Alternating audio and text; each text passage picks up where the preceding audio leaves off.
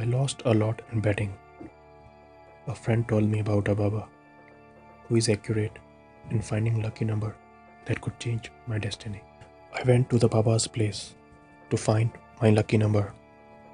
And I was instructed to go in a room, pick up a card, and leave. The card had my lucky number that gonna make me rich. I bet all I had on that number.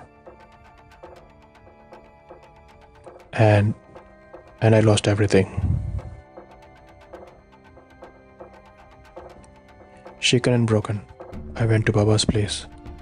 And this time, there was an open envelope with a letter, and inside it, it was written Karma. With a date, I did something undescribable.